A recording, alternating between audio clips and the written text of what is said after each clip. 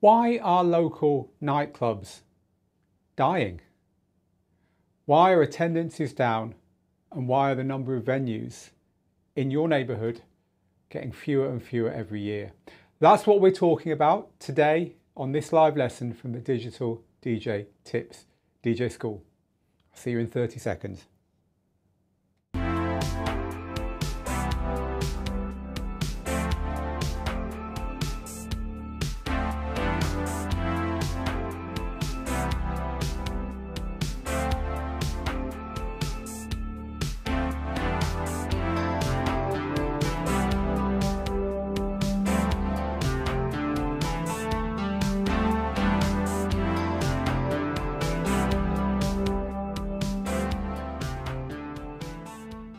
So it's not just me or us saying this. I mean, what would I know as a 50 year old bloke sat on a little rock called Gibraltar where Digital DJ Tips is based? No, it's not just us. It's our students are telling us that they're finding it harder and harder to find the gigs that they need to get that rite of passage, to get to the point where they've earned their stripes as a DJ.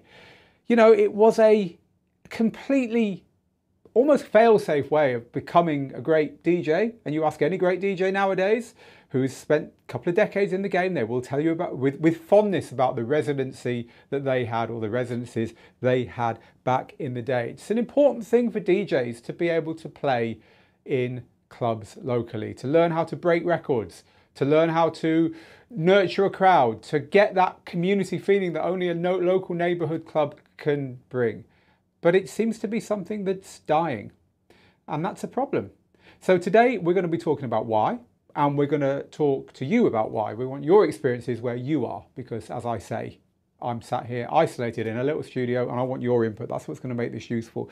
If you've just joined us and you're not used to what goes on here, this is a live show. You're probably watching the recording of this show from Digital DJ Tips, the world's largest online DJ school. We do this every week on a Tuesday, 3 p.m. London, 10 a.m. Eastern, but you can also watch the replay. You can also ask questions underneath wherever you're watching this. Me and my team will get back to you. We do it as a free extra on top of the DJ courses that we make and sell. We are the biggest DJ school with 37,000 students worldwide worldwide. And we love doing this stuff. So what was the picture that I had on the screen at the opening sequence there?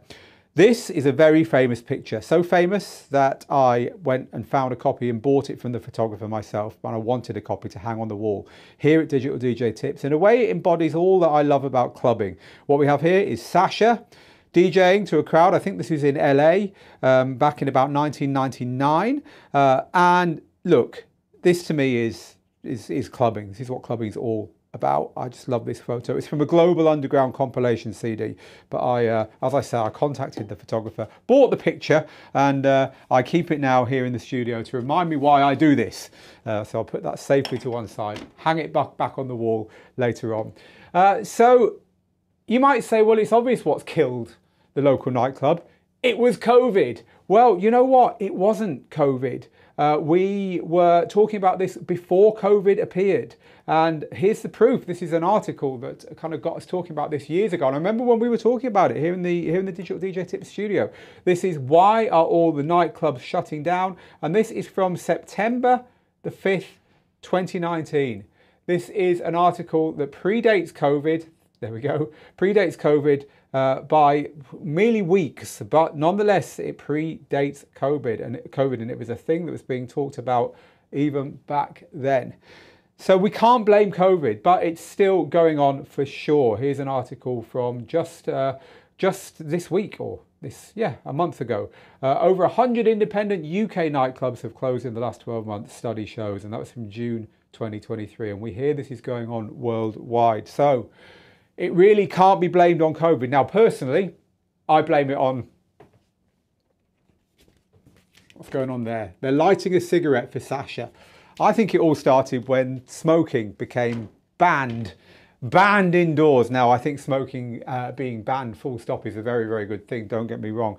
But there was something about getting 400 people in a sweaty room and keeping them there for four hours and taking them on a journey that just isn't there anymore because people are always leaving. Uh, all right, there's fewer and fewer people smoking, but people are vaping nowadays, and that's often barred indoors as well. So people are nipping outside every 20 minutes or half hour. You just, I don't know, you just don't seem to get that togetherness thing going. I mean, maybe it's just an old man shouting at clouds, but I think I've always kind of like half tongue in cheek said that was kind of the beginning of the decline.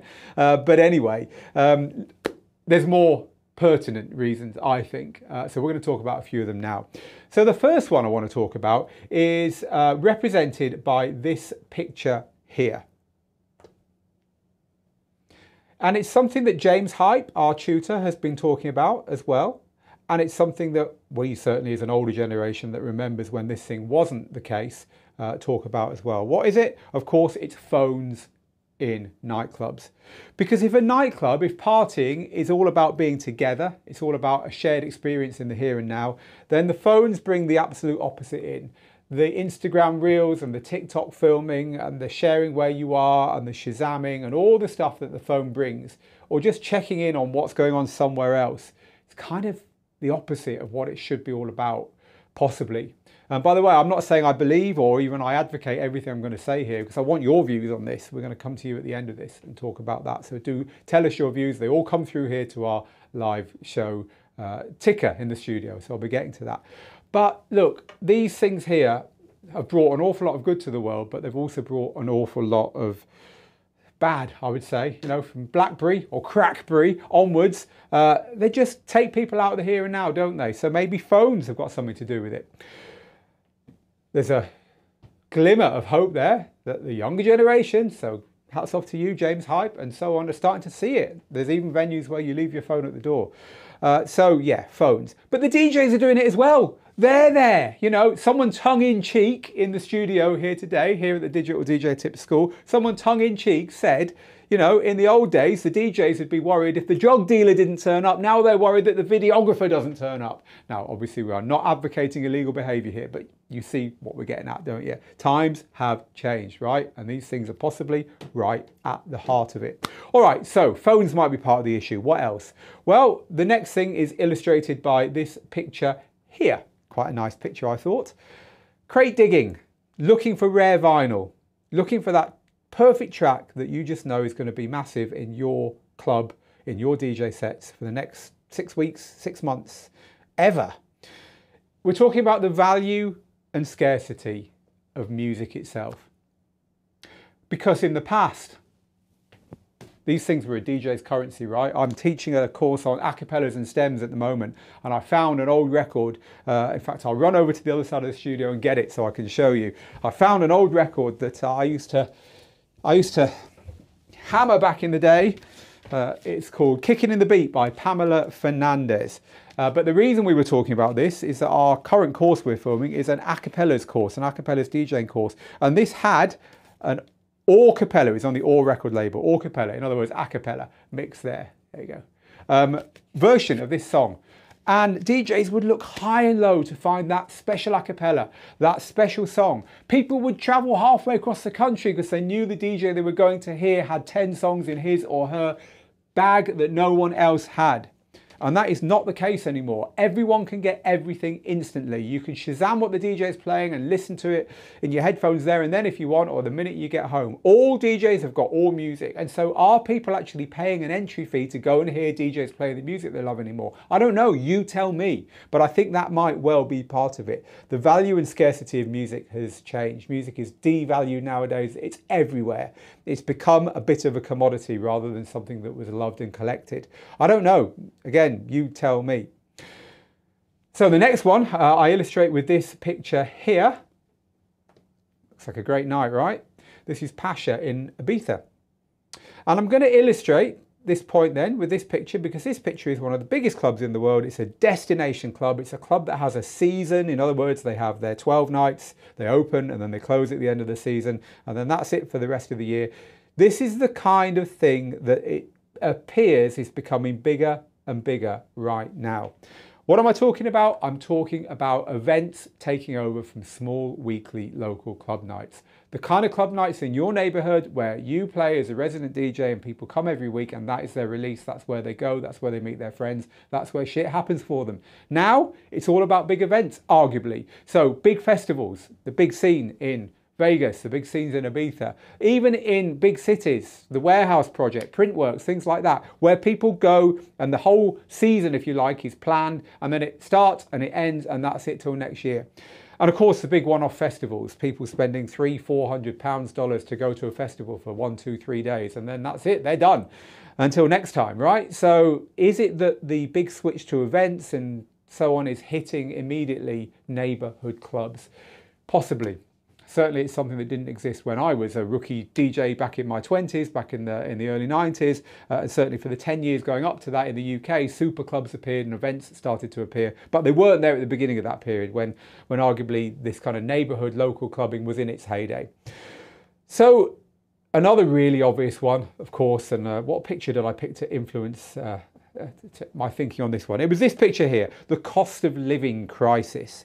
So there's always been recessions, right? There's always been times where we have less money. There's always been times that are hard. Arguably, we're in a longer, more sustained crisis right now, arguably. But I think there's something else going on here. I think it's the energy crisis. I think the cost of energy is going up, and that means the cost of opening and running a venue is going up. So not only are the people coming unable to afford it because of the scarcity of money in their lives because in the past that wasn't always an issue. We're going to get onto that again at the end.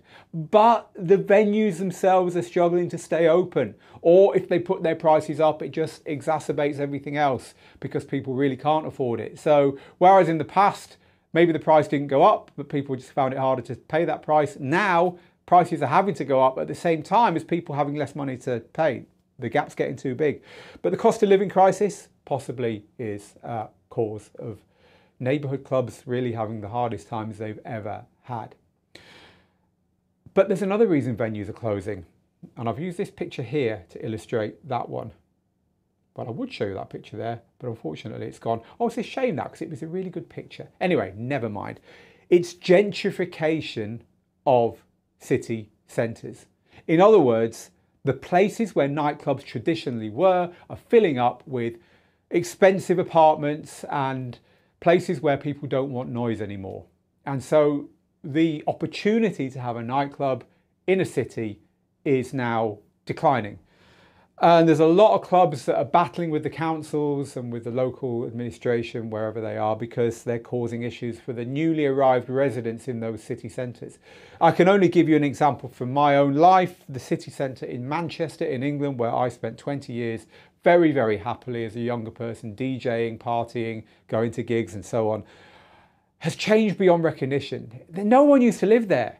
There was a, here's a story, there was a massive bomb, believe it or not, set off in the centre of my city uh, back in the days of the Irish Republican Army, the IRA, and their conflict with the British. And this bomb devastated, absolutely devastated the centre of Manchester, wiped it out it was like a 15 year rebuilding just to get it back to where it was. It was, it was horrible. No one died. and there's only a couple of people living anywhere near to where it happened. And it happened after the shops had shut. So, hey, awful. But if that happened now, I don't even want to say it. Because there's now tens of thousands of people living in the centre of the city who weren't there before. And so we end up with this situation where the clubs and the people living there are not compatible. So it could just be gentrification causing the venues to close. Uh, and my final image, uh, not as good as the, gent the gentrification one I had unfortunately, but it'll have to do, is this. Online dating. Is it just that Tinder and all the other online sites for meeting the opposite sex mean that fewer people are having to run the gauntlet of going to a dark, sweaty nightclub to cop off to meet someone from the opposite sex, to get married. I met my wife in a nightclub. She came up to me and said, Your website's rubbish, and I can help you with that. And I thought, That is a unique approach because I'd heard them all. And we're now married. But we met in a nightclub. Is that the way it happens now? I don't know, you tell me, but it could just be that online dating is causing all of this stuff. What's the solution? How do we solve this? So I want, I want to end by talking about that now before we go over to talk to you about this stuff. look, I've always, here's what I've always truly believed, and you tell me whether this is realistic anymore. I've tr- always truly believed that the way to get anywhere in life, to do anything, is to flip the coin, right? You can't get a job as a DJ, then become the person who employs DJs and employ yourself, right? Flip the coin. Uh, you can't get your blog articles accepted by any websites, you can't get your videos accepted by any streaming channels or whatever, then flip the coin and become the website. That's how I started Digital DJ Tips. You know, if you think that way, then you you get an entrepreneurial mindset. You get a D a, a, a DIY mindset. So look, I don't I don't fully buy this idea that people don't go out when times are hard. I personally think when times are hard, people need to go out more. They will um, um, they will prioritize their blowout on a Saturday night in order to put up with the the shit they're going through in the rest of the week. Excuse my language.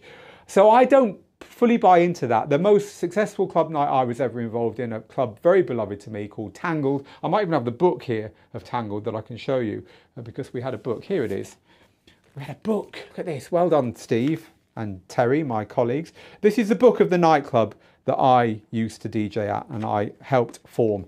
Uh, absolutely fantastic times, absolutely fantastic times. And this nightclub won awards. It got me DJing in Ibiza. Uh, this nightclub really was the making of me. And we launched this club in the middle of an awful recession in 92, 93, right? And so I'm not having it that you uh, can't do stuff in a recession because you can. People want to go out. So my view really is Find your crowd and do it yourself. Start your little club night. It might only be 20 people in a bar, but find 20 people of your age and of your crowd and of your crew who want to go out and do it yourself. Yes, you're going to adopt modern techniques. Yes, you're going to use online platforms to help. Yes, you're going to use live streaming and online networking and so on. But I still think it is possible and we still hear of people doing it, but it's certainly a lot harder than it used to be. And that's what we're going to talk about with you now for the next 10 or 15 minutes. Now, at the end of today's show, I'm going, and I should have really told you about this at the beginning, but uh, I'm going to announce the three winners of our competition to win the uh, to win the um, Hercules controllers. Where's that Hercules controller? It's not here, but I'll find it on the website to show you. So we had a competition. This is a great competition. We love this one. Uh, to win this controller from Hercules, which is called the uh, T7. Here we go. So we had three of these. Thank you, Hercules, for donating these for the cause. Um, we had a free prize draw, uh, and yeah, it's a lovely controller. We had three of these to give away. We've actually just drawn and announced the winners, and I will tell you who those winners are right at the end of this show. But for now, want to go over to you guys and girls. I want to talk with you about why is local clubbing dying? Really looking forward to this one. Now, unfortunately, it looks like I've been kicked out of my platform, which means uh, this has been happening a lot recently. It's quite annoying because it means everything you've said all the way through this show up until this very second will not be available to me. Uh, however, I'm sure you've got a lot to say about it right now. So keep asking uh, your questions as of this second, and everything you say as of now will come through to me. So very, very sorry if you typed something ahead of time. Uh, you're going to have to type it again. If it's any consolation, I wrote up a whole lesson plan yesterday on my iPad, sat in our camper van uh, down where the sun was rising, having a great little, you know, digital nomad time. It didn't save. I got back here and had to do it all again. So hey, it happens, and it's just happened to us on our platform. However, look, your comments, your comments are coming through thick and fast here now. Uh, so everything you say from now on, I will be sharing. And again, sorry if uh, I haven't got your comment from earlier because as of uh, 16.20 here, 20 past the hour wherever you are. Anything before then has been wiped off. Right, cool. I'll stop apologising and get on with reading out what you're saying. Uh, so, um, uh, the Ruckus says, oh, thank you, everyone. I humbly accept the prize hold off there the ruckus. You will find out if you've won in a little while. Um, so Santa Claus with an E on the end, I like it on YouTube, says, I still love the music after 30 years, but no access to favours. Chris says, records are too short. The best nightclubs believed that you should be off the clock. It was sealed so tight you had no idea what time it was.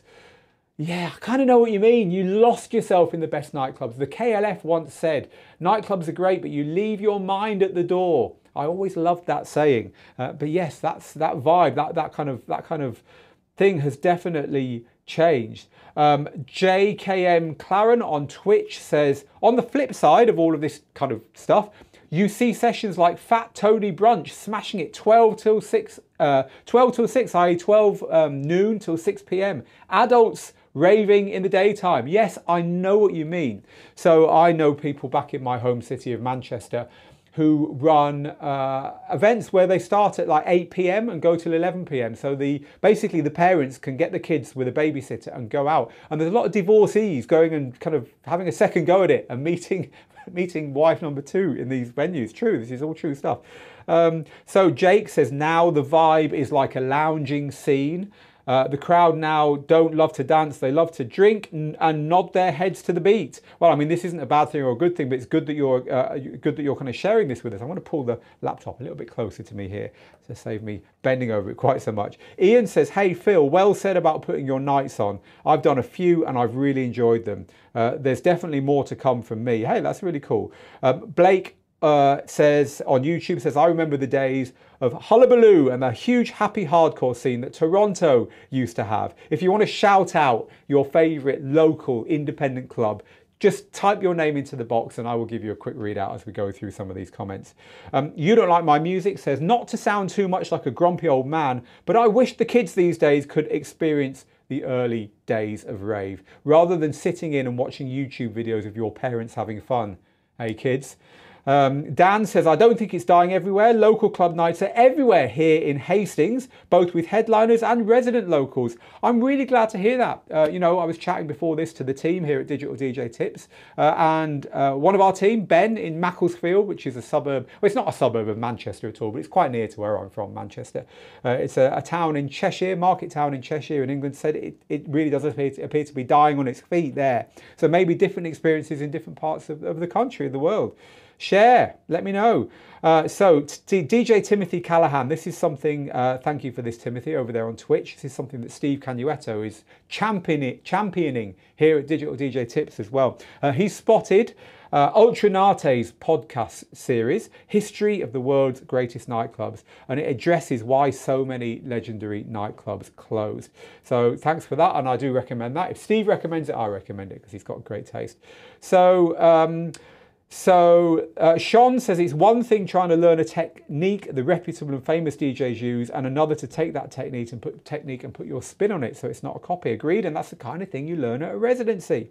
Uh, uh, Ghost Infinitum DJ GI on Facebook says, I'm just at the point that if I can get a crowd in the door and get them singing, then it's a win.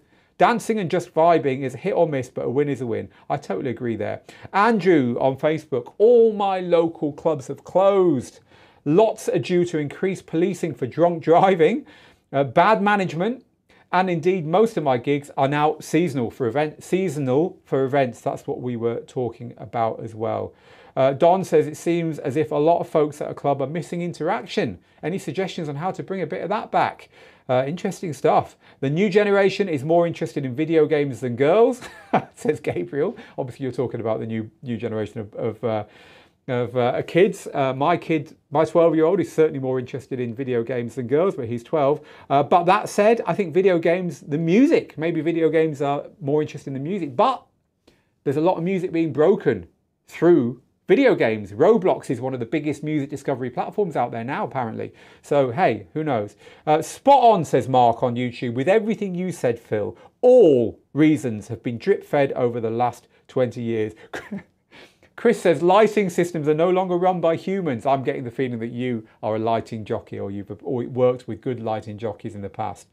Uh, John says the development of old industrial sites too. So many of the old clubs were on the edge of city centres that are now housing. Sankey's in Manchester, or Sankey Soap as we used to know it back in the day, as an example. Yeah, this is a great example of what I was talking about earlier, that people are moving into the city centres. Um, so, um, so clubbing is dying, in my opinion, because everyone within the clubbing age is addicted to the same thing: cell phones, agreed, and processed food.